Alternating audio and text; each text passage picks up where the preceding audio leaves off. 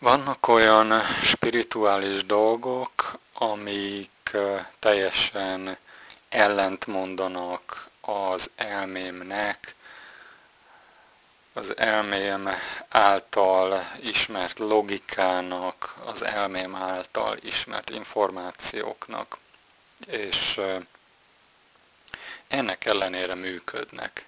Tehát a tapasztalatom az róluk, hogy működnek. Annak ellenére, hogyha az elmémmel nézem meg, akkor nem, nem logikus, és nem kéne működniük, de a tapasztalat meg azt mutatja, hogy működnek. Volt egy ilyen videóm is, vagy van, hogy fény félkör, amiben egy gyakorlatot mutatok be nektek, és többször elmondom, hogy nem tudom, hogy ez miért működik, vagy hogy működik, fogalmam sincs róla. Valahonnan jött ez az ötletem, hogy ezt csináljam, én se tudom, hogy honnan, elkezdtem csinálni, és nekem eszméletlenül működik. És akik ezt a videót megnéz, megnézik, vagy megnézték, lehet, hogy, sőt biztos, hogy egyesek gondolom, hogy arra gondolnak, hogy hát hogy lehet ilyet kitenni, ilyen videót, ilyen gyakorlatot, hát még ő maga se tudja, hogy most ez hogy működik, meg mit csinál, meg stb. És amikor erről beszéltem a páromnak, akkor mondtam azt, hogy de hát ez orvosokkal is nagyon sokszor így van. A saját tapasztalatom, mert régen, főleg így 20-tól 30 éves koráig ennek a testnek, rengeteget jártam, rengeteg féle orvoshoz, meg ilyen-olyan más gyógyítókhoz, és azt tapasztaltam, hogy a legtöbbjüknek fogalma sincsen, hogy mit csinál.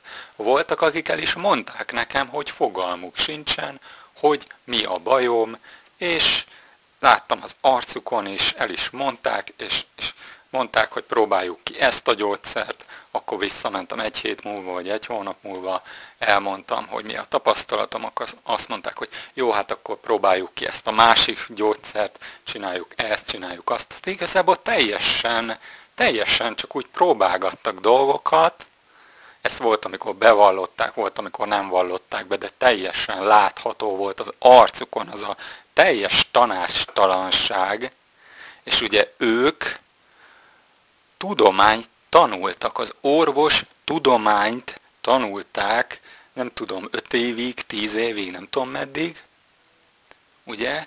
Meg előtte még ugye nyilván a, a közoktatásban is tanultak 12 évet, vagy mennyit, ugye általános iskola plusz középiskola, és ezek az emberek, ezekhez az emberekhez én elmentem egy, egy tünettel, vagy ilyen-olyan tünetekkel, és gőzük sem volt, hogy mi ez, mitől van, mit csináljanak.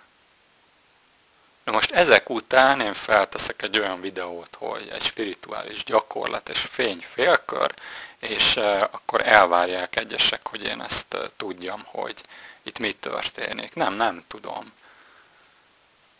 De kérdezem én, hogy mi a biztosabb dolog? Az, hogy én tapasztaltam valamiről, hogy működik, nekem legalábbis működik, és megosztom veletek, hogy hát ha ezzel nektek is nagyon sokat tudok segíteni, mert lehet, hogy nektek is működik. Kipróbáljátok, aztán majd meglátjátok. Ez-e a biztosabb dolog, vagy az, hogy elmész eh, mondjuk egy orvoshoz, és most nem akarom bántani az orvosokat, mert vannak nagyon jó orvosok is, és vannak nagyon jó szándékú orvos, nagyon jó szándékú orvosok is, és nem az ő hibájuk az, hogy például Magyarországon a, a, az oktatás, meg nagyon sok országban nem olyan, hogy, hogy azzal ténylegesen hatékonyan lehetne sok embert meggyógyítani. Sajnos ők egy ilyen eltorzult dolgot tanulnak, ugye az embert egy testnek tekintik, stb. stb. De vannak olyan országok, ahol az orvoslás az teljesen más, hogy működik, és teljesen más gyógymódokat alkalmaznak, sok gyógynövényt alkalmaznak, például Butánban, meg van, ahol azzal kezdődik, hogy két órát beszélget veled a, az orvos. Tehát nem úgy, hogy öt percenként dobják ki az embereket az orvosi rendelőből, hogy jó, ez a tünet, akkor felírok ilyen gyógyszert, jöhet a következő. Érted? Tehát, hogy és megnézik a, a születési dátumottól kezdve a, a felmenőidet, meg mindenfélét. És tehát még egyszer mondom, hogy nem az orvosokat akarom bántani, csak én azt mondom, hogy tőlük én azt tapasztaltam, ugye tőlük, akik tudományt tanulnak, um, sajnos ő nekik is sok hazugságot, meg sok mindent olyat tanítanak meg, amiről tudják már a legmagasabb szinten lévő döntéshozók, hogy ez nem igaz, csak ebből nagyon sok pénz van. Mindegy. Tehát nagyon sok mindent tudnak gyógyítani, például, és sőt például ott van az onkológia, állítólag az onkológusok 75%-a, nem 75, 95%-a nem alkalmazná saját magán a kemoterápiát, hogyha ő rákos lenne. Tehát ez egy kérdőív alapján látható. És mégis a betegekkel ezt, betegeknek ezt tanácsolják, mert nekik ez a kötelességük. Na, szóval csak azt akarom mondani, hogy így visszatérve az elmére, meg a logikára, hogy szerintem ezt mindenki talán nap mint nap, vagy hetente egyszer tapasztalja, hogy vannak olyan dolgok, amik egyszerűen nem logikusak, és mégis működnek vagy legalábbis nincs még olyan szinten a rálátásunk, hogy lássuk azt, hogy mit működik, vagy miért működik. Nincsenek még olyan információink, nem látjuk az egész képet, és ezért, hogyha logikával nézzük meg, akkor egyszerűen nem értjük, hogy miért működik. És ennek az ellenkezője is van, nagyon sokszor, hogy valamit logikusan kitalálnak, tehát születik egy elmélet, ez nagyon-nagyon gyakori, születik egy elmélet, hogy mit tudom én, ezt és ezt így és így lehet gyógyítani, vagy ennek és ennek a betegségnek ez az oka, vagy ennek és ennek a, a mit tudom én, természeti jelenségnek ez és ez az oka, és ezt nagyon szépen elmagyarázzák, tartanak belőle előadásokat, írnak könyveket, készítenek videókat, azt aztán dogivel, tehát elméletről, és kipróbálod a gyakorlatban, és nem működik, de totálisan nem működik. Rengeteg ilyen van. Rengeteg ilyen van. Hát mondom, én tapasztaltam is rengetegszer, konkrétan az orvostudományról. Sőt, ott még le is van írva, ugye, mit tudom én, egy bármilyen gyógyszert veszel, és akkor le van írva egy halom negatív mellékhatás, hogy mi mindent okozhat. És például antidepresszánshoz oda van írva, mellékhatás depressziót is okozhat. Az antidepresszáns. Tehát megvégeztek olyan kísérletet, hogy depressziós emberek depressziós embereket, mit tudom én, egy ezer depressziós embert három csoportra osztottak véletlenszerűen, és az első csoportnak adtak antidepresszánst, a második csoportnak adtak placebót, tehát adtak valamilyen tablettát, és azt mondták, hogy ez antidepresszáns, és ettől meg fogtok gyógyulni. És a harmadik csoportnak meg nem adtak semmit. És képzeljétek el, nagyon megdöbbentő lett ennek a kísérletnek a vége. Az lett az eredménye, hogy a placebótól többen gyógyultak meg, mint az antidepresszánstól. Nem tudom, mennyire érthető ez nektek.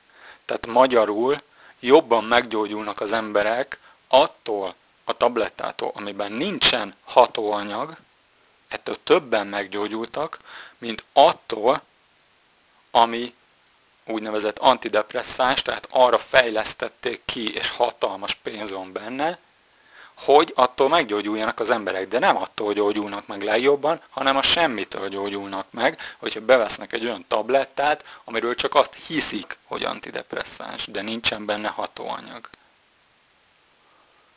Most ezek után felteszem a kérdést, hogy hogy lehetséges az, hogy árulhatnak még antidepresszánst ezután a kísérlet után, bárhol a Földön.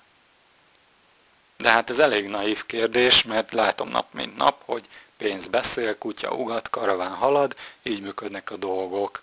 Tehát most tényleg nem ilyen utálkozó videó, videó akar ez lenni, de például itt Magyarországon úgy van, közterületen tilos az alkoholfogyasztás, de hogyha ugye ilyen-olyan éttermek, meg ez az amaz, gondolom fizet valamennyit az önkormányzatnak, vagy nem tudom kinek, vagy nem tudom minek, akkor ugye kitehet asztalokat, cégeket az utcára, a sétáló utcára, és ott már szabad alkoholt fogyasztani. De, a, de hogyha az asztal mellett egy méterre állsz, és ott fogyasztasz alkoholt, ott már megbüntethetnek érte. Tehát, hogy ilyen teljesen illogikus dolgok. És amikor ugye egyesek így néznek ilyen videókat, hogy jó, milyen hülye törvények vannak Dubajban, meg Pakisztánban, meg nem tudom hol, milyen hülye ez az ország, meg az az ország, meg ez a nép, az a nép. Hát Magyarországon is ugyanolyan idióta hülye törvények vannak. És még sorolhatnám, de most tényleg nem akarok ilyen negatív videót készíteni, de például volt olyan, hogy ugye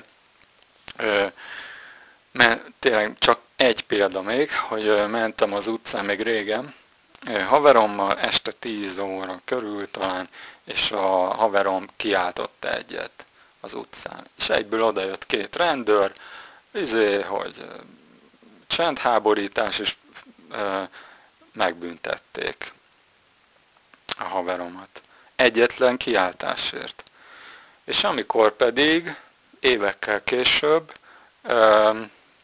olyan helyen laktam, ahol a, hát a házhoz közel volt egy ilyen kultúrház, vagy micsoda, és éjjel fél kettőkor olyan iszonyatos hangerővel bömböltették benne a zenét, hogy az ablak, tehát a lakásunknak az ablaka így berezgett, és egyszerűen majd szétrepett az ember dobhártyája.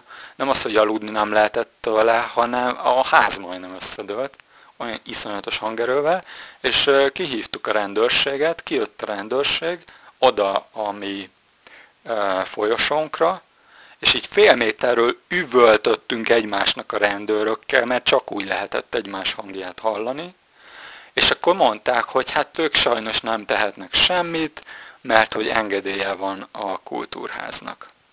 Ennyi. Tehát most, hogy mi a csendháborítás, mi nem a csendháborítás, ez csak azon függ, csak azon függ, hogy ki fizet valakinek, vagy valaminek, tehát ezen múlik a dolog, pénz beszélne. Most tényleg befejezem ezt a negatív példát, csak hogy visszatérve az orvostudományra, meg egyáltalán a tudományokra, sokan úgy gondolják, hogy hát a tudomány, a tudományok azok nagyon pontos, precíz dolgok, és egy nagyon megbízható.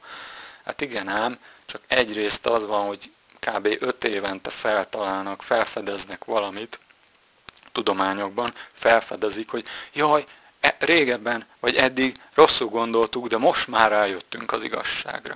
És akkor 5 év múlva megint rájönnek arra, hogy hát mégse jól gondolták, de most, most aztán tényleg jól gondoljuk. Tehát mindig valami új felfedezést tesznek, ugye, és akkor, és akkor öt évig az megy, hogy az az igazság, és akkor öt év múlva megint változik.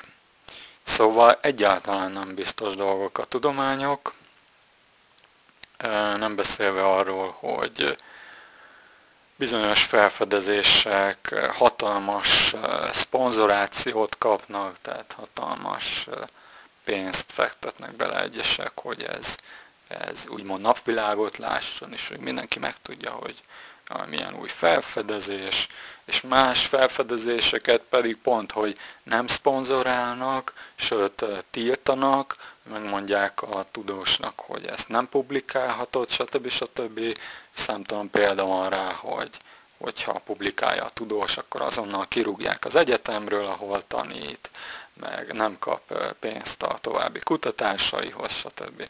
Szóval, hát például Magyarországon is ugye a, a Magyar Tudományos Akadémia, ami személy, személy szerinti, meglátásom szerint se nem magyar, se nem tudományos, de mindegy.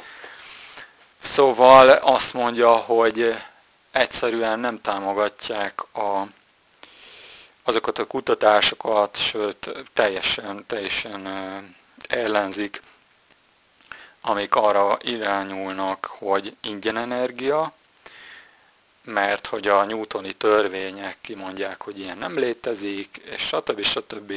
És hiába, hogy számtalan bizonyíték van a létezésére az ingyen energiának, vagy nullponti energiának, ki hogy nevezi, ami lehetővé teszi, tehát hogy ezt kihasználnánk, felhasználnánk, akkor igazából nem kéne fizetni semmiért sem, tehát olyan dolgokért, úgy értem, tehát hogy nem kéne fizetni mondjuk az elektromos áramért, de hát ugye ez nyilván teljesen ütközik sokaknak az érdekével.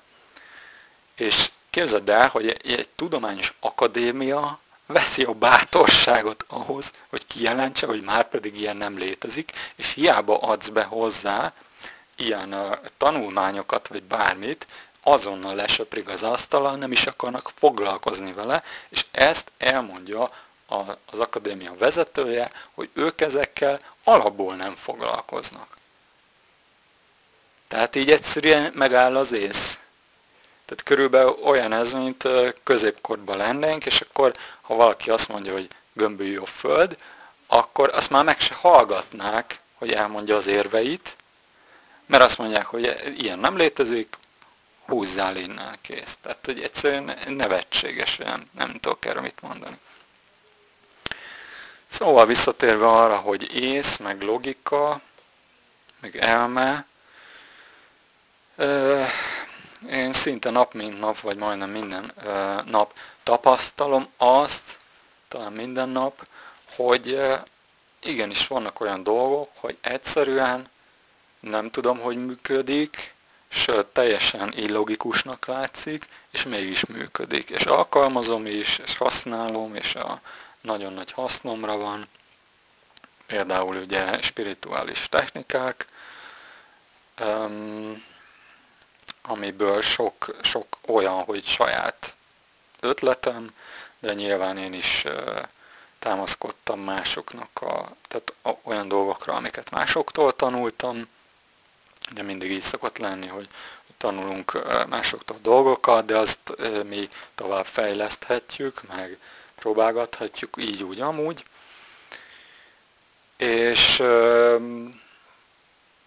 sok mindent meg sem osztottam veletek, mert, mert például még elmondani se tudnám, mert nem, nem is nagyon vannak rá szavak. Meg a másik az az, hogy, hogy tényleg így nem, nem tudok, nem tudom megmagyarázni, és nem tudom, nem tudom semmivel alátámasztani, csak egyszerűen a, a saját tapasztalaton az, ami, az, ami igazolja magam számára.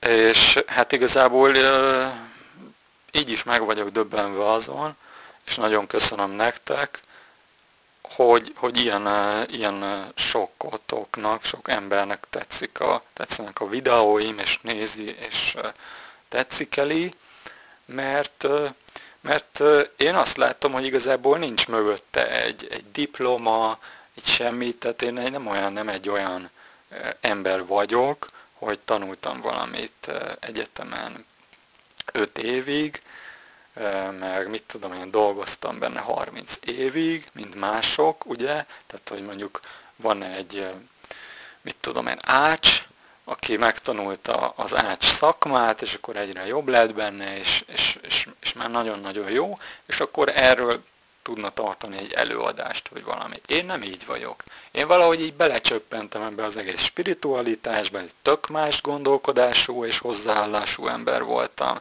és így, belecsöppentem az egészbe, és, és csomó mindenről fogalmam sincs, hogy, hogy mit csinálok, meg minden, de működik, eszméletlenül működik, sokkal jobban működik, mint azok a tudományos dolgok, amiket például ugye rajtam orvos, orvosok egyszerűen próbálgattak.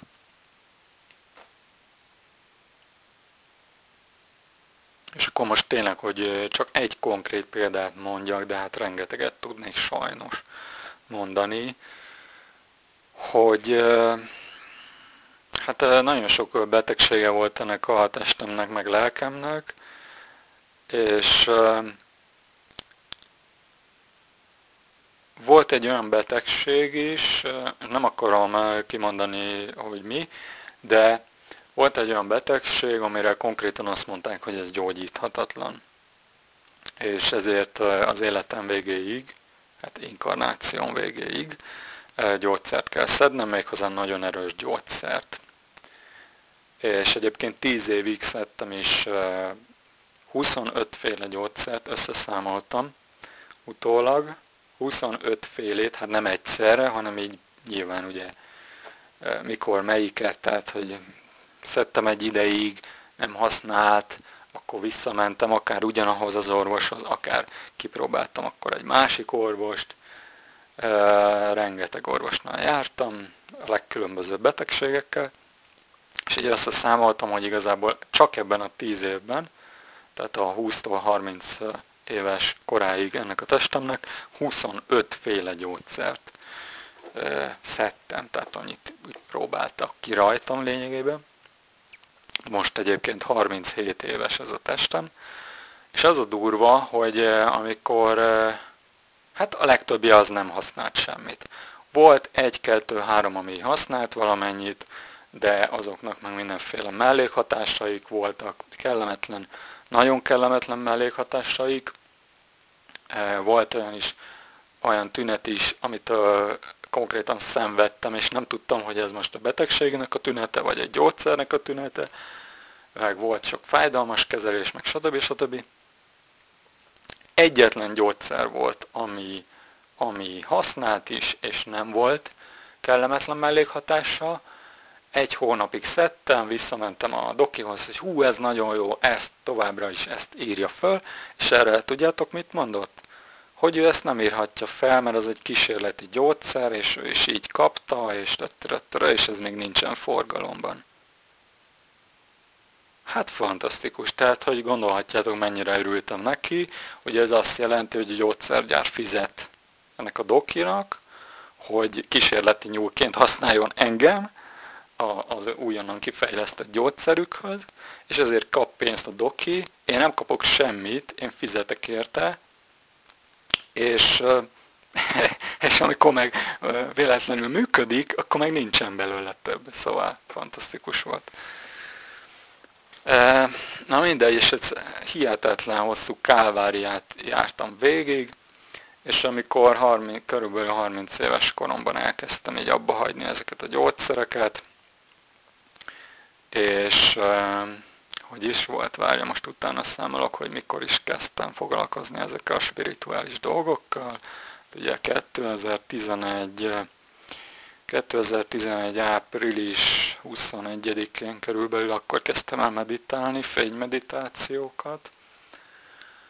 Tehát akkor mindjárt kiszámolom, hogy mennyi idős volt ez a testem.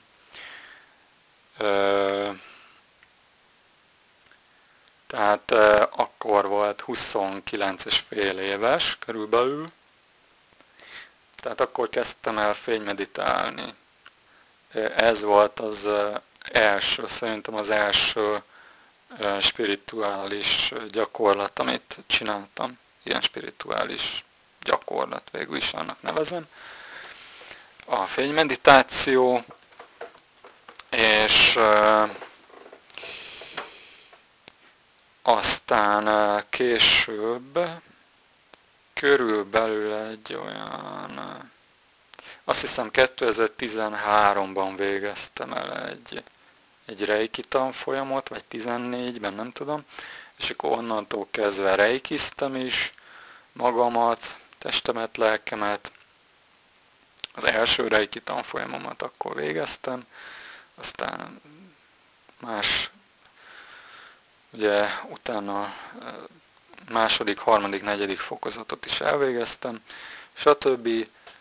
És tehát nagyon sokat reikiztem magamat, és sokat fénymeditáltam, és szépen lassan elkezdett javulni az a betegségem, tehát elkezdett elmúlni, amivel egy évtizedig járkáltam az orvosokhoz, és nem igazán tudtak segíteni. Tehát most akkor megint az a kérdés, hogy miben bízunk jobban, abban a tudományban, amit egy, egy, egy ilyen szuper pontos dolognak tartunk, va, vagy, és ugye az elménk is, a, tehát az elménk, az eszünk azt mondja, hogy ez egy megbízható dolog, és ez logikus, stb. stb. sok kísérlettel bizonyított, etc ez így félig meddig még igaz is lenne, hogyha nem lenne benne annyi olyan sok pénz, nem lenne benne sok érdek, és ez nem torzítani el a dolgokat, mert lehet, hogy vannak olyan gyógyszerek, amik jók, meg lehet, hogy vannak olyan akár nyugati orvoslási gyógymódok is, amik jók, csak nem csak ezek vannak, hanem a nagy része az egy baromi nagy iparág de ugyanígy van a fizikával, a biológiával, az űrkutatással, az oktatással, stb., hogy egyszerűen nagyon-nagyon feje tetejére vannak állítva ezek a dolgok. Na mindegy, azért most már kezdünk visszafele indulni az igazsághoz és a működő dolgokhoz és az egészséges dolgokhoz, stb. stb. Csak folytatva a kérdésemet, tehát, hogy most akkor abban bízunk, ami, ami tudományos, és elvileg működnie kéne, de nagyon sokan azt tapasztalják, hogy nem működik, mert én bárkivel beszéltem, mindenki arról számolt be, hogy volt ilyen orvosnál, olyan orvosnál, amolyan orvosnál, kipróbálta ezt, azt, azt, és nem használt. És akkor ez, ez olyan furcsa dolog, hogy akkor miért mennek az emberek orvoshoz, vagy miért, tehát hogyha egyszer valami nem működik, akkor miért nem próbálnak ki valami tök más dolgot? Mert ha működik, akkor jó van, és én azt kívánom, és örülnék neki, hogyha mindenkinek tudnának segíteni az orvosok, és biztos, hogy van is, akinek tudnak segíteni. De én valahogy nem ezt tapasztaltam. Na mindegy. De például akihez járok fogorvoshoz, hát járok, az azért túlzás, mert egyetlen fogam van, amivel probléma volt az egész 37 év alatt, tehát egyetlen tömött fogom van most is, de nagyon sokszor csak kontrollra mentem el hozzá, tehát ő például egy nagyon jó fogorvos. Tehát ilyen is van. Na meg például a, az egyik hugom, ő gyógytornász, és nagyon sok emberen segített már, tehát olyan emberekkel, hogy nem tud járni, stb. stb. És akkor foglalkozik velük nem tudom mennyi időt, és utána meg tud járni az ember. Tehát, hogy eszméletlen, hogy, hogy milyen dolgokra képes. Szóval tényleg vannak jó dolgok, csak én azt látom, hogy hogy azért a nyugati orvoslás az nem egy olyan dolog, amiben így vakon kéne bíznunk. Biztos, hogy vannak benne jó dolgok, de ugyanakkor meg, hogyha mondjuk előállok egy spirituális dologgal bizonyos körökben, akkor így kiröhögnek, mert hogy jaj, igen, jaj, ilyen, izé, ilyen hülye ezoterikus izé, és közben nekem meg működik. Tehát volt ilyen dolog, hogy hogy egy kutyás Facebook csoportban beírta valaki, hogy a kutyája kullancstól nem tudom milyen betegséget szerzett, és hogy nagyon vigyázzatok, és akkor úgy csomóan odaírták, hogy ők milyen ilyen-olyan, amolyan kullancsírtót, meg kullancsriasztót, vagy mit használnak, mindenféle ugye mérgeket, meg mit tudom én mi, hogy kutyára kell cseppenteni, meg bele kell, be kell adni a kutyának, meg minden. Ezek lényegében mérgek, csak ugye nem olyan, nem annyira erős, hogy a kutyát is kinyírja, meg a gazdáját is, csak hát a kullancsot ír, nyírja ki, meg rá van írva, hogy figyelem, súlyosan károsítja a természetet, az élővilágot, a izét, halakat, meg a növényzetet, mindent. Tehát így rá van írva. Hát ilyen barátságos dolgokat ugye adnak be a kutyáiknak. Jó van, én is csináltam egy ideig.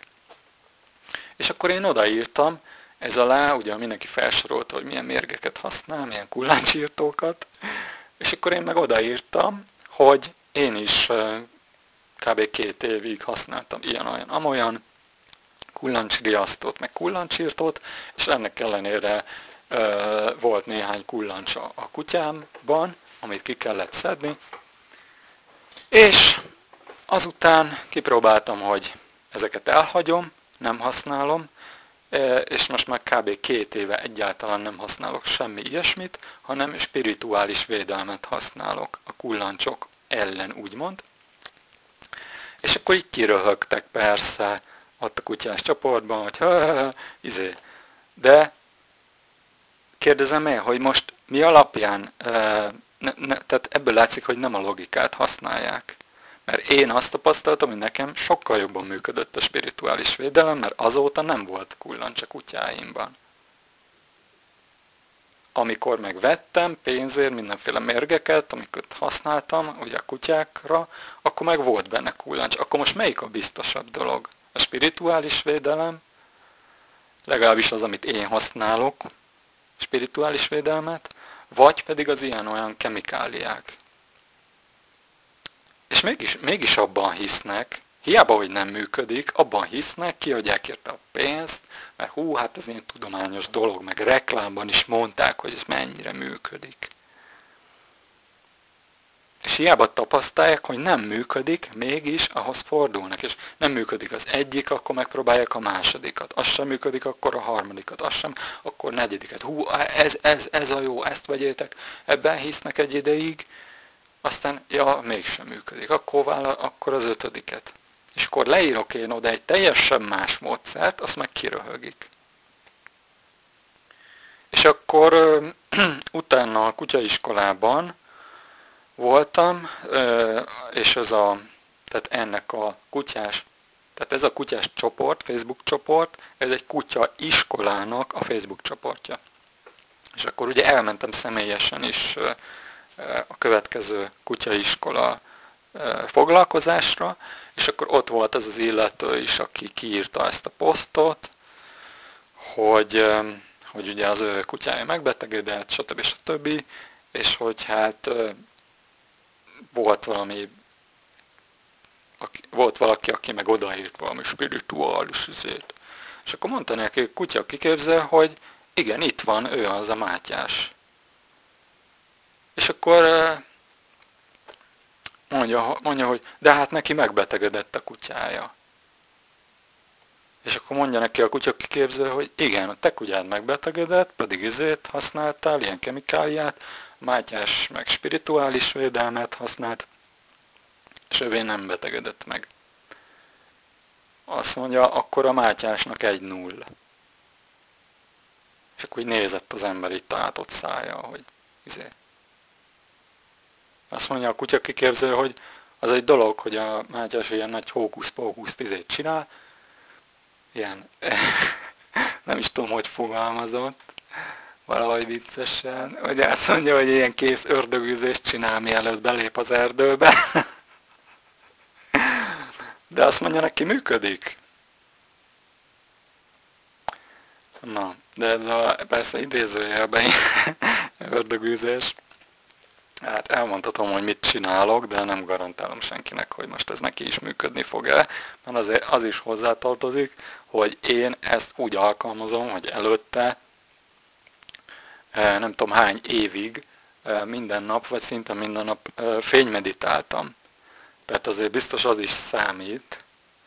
Tehát ugyanúgy, mint mondjuk, hogyha mondjuk egy ács elmondaná most neked, hogy hogyan kell elkészíteni egy háznak a tetőrszerkezetét, akkor nem biztos, hogy ez neked is ugyanolyan jól menne, mint neki, aki már mondjuk 5 éve vagy 10 éve azt csinálja. Tehát én is elmondhatom most neked, hogy hogyan csinálom ezt a spirituális védelmet, de nem biztos, hogy neked is úgy, ugyanúgy fog működni. Lehet, hogy ugyanígy fog működni. Nem tudom. De előtte még elmondom, hogy azért, ha esetleg ti is ilyet tapasztaltok, hogy mondjuk valahol mondotok, valami, mondtok valamilyen spirituális dolgot és kinevetnek, mondjuk ebben a csoportban azt hiszem ketten nevettek, de semmi más reakció nem volt. És ugye ez nem azt jelenti, hogy mindenki nevet, hanem azt jelenti, hogy kettő ember nevet több ezerből. Amikor meg személyesen ugye volt erről szó, és ott álltunk 10-15-en, akkor senki meg sem mukkant. Tehát azért ezt is vegyétek mindig figyelembe, hogy hogyha mertek ti valamit mondani valahol, és ott kinevet kettő ember, az nem azt jelenti, hogy mindenki nevetségesnek tartja, mert valószínűleg, hogy többen vannak, akik egyetértenek veletek, csak meg sem mernek mukkanni, mert nem, nem eh, merik még felvállalni, hogy ők is mondjuk spirituálisak, vagy, vagy, vagy hogy egyáltalán lehetségesnek tartják ezt, vagy érdeklődnek ez iránt. Na, szóval azt szoktam csinálni, hogy hát először is ugye kell egy bizonyos lelki állapot vagy tudatállapot ehhez. Tehát hát ha nem is egy ilyen meditatív állapot, de ezért egy, egy nyugodt, tiszta lelki állapot.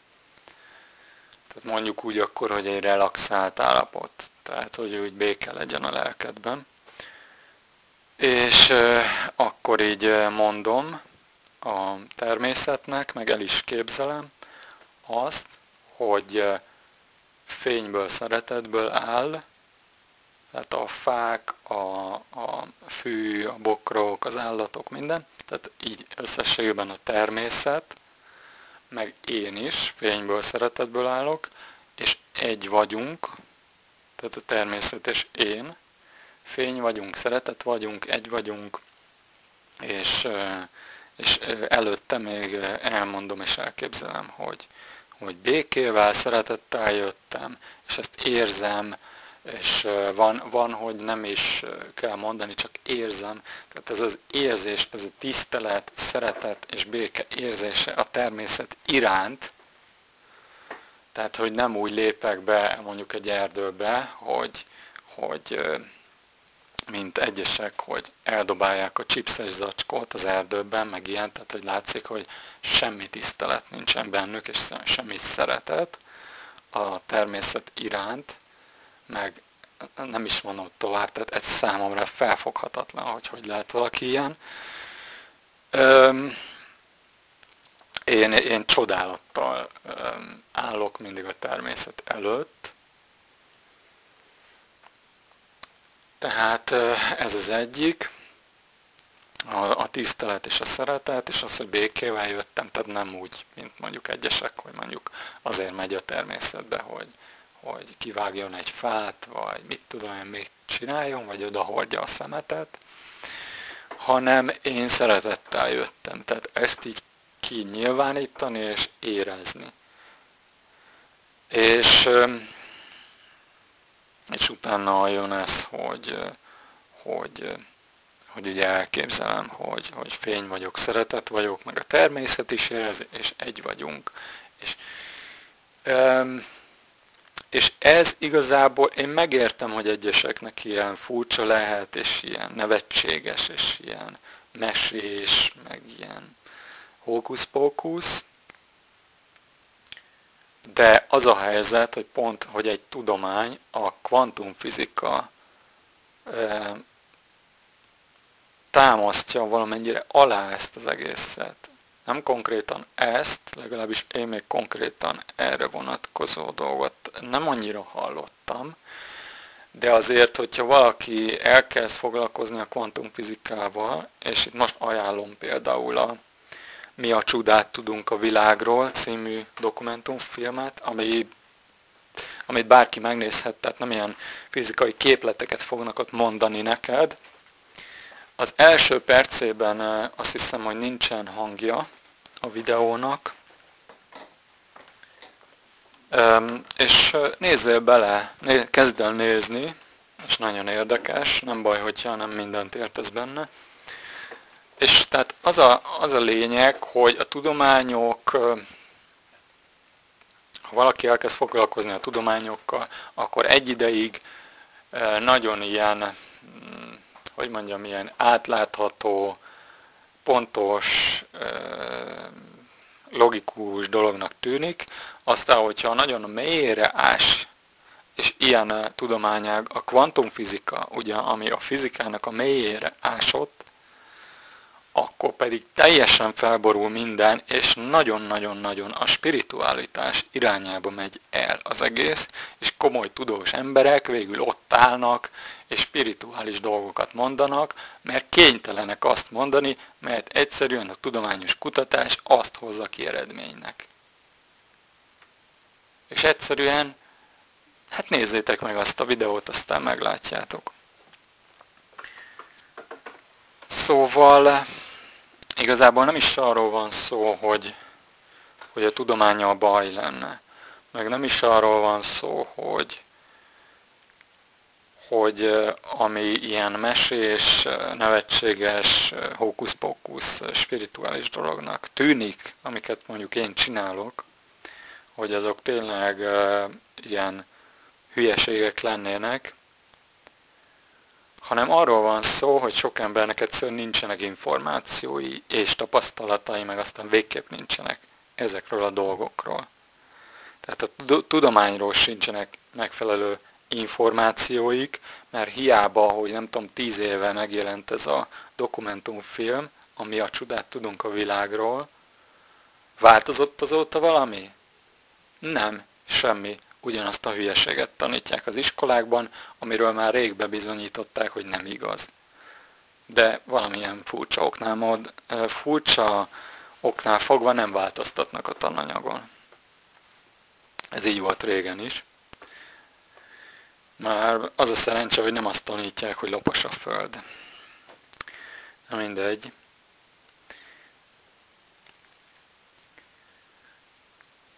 Még egy előadást nagyon tudok ajánlani, ez pedig az Isteni Matrix nyelve, négy órás előadás, van belőle részlet is feltéve a netre, szóval nem, nem csak arra az egy részletre gondolok, hanem hogyha találtok ilyen négy darab, kb. egy órás előadás részletet ebből, akkor arra gondolok.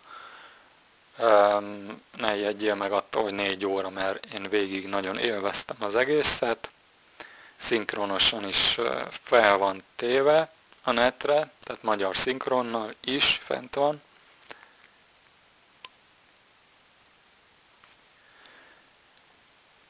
És ugyanúgy, ahogy volt idő, amikor mondjuk mindenki azt gondolta, hogy lapos a Föld, vagy mit tudom én, nem voltak ismereteik a vitaminokról, vagy az atomokról, fogalmuk se volt, és van pedig természetes dolgok, ugye ma azt mondod valakinek, hogy vannak ilyen parányi részecskék, amiket nem is látunk, de mégis léteznek, vagy hogy vannak ilyen parányi élőlények, amiket olyan picikék, hogy nem is látjuk, de mégis léteznek, ugye például baktériumok, akkor ez mindenki számára természetes. De régen, hogyha valaki ilyet mondott, nem tudom hány száz évvel ezelőtt, akkor arra azt mondták, hogy te őrült vagy. Tehát ugyanígy, ahogy ilyen változások végbe mennek e- a földi emberiségben, Ugyanígy lehet, hogy mondjuk 50 év múlva, vagy 100 év múlva mindenki, amikor a kutyájával bemegy a természetbe, akkor spirituális védelmet fog használni, és az lesz a legtermészetesebb dolog, és majd csak nevetnek azon, hogy régen ilyen kemikáliákban bíztak.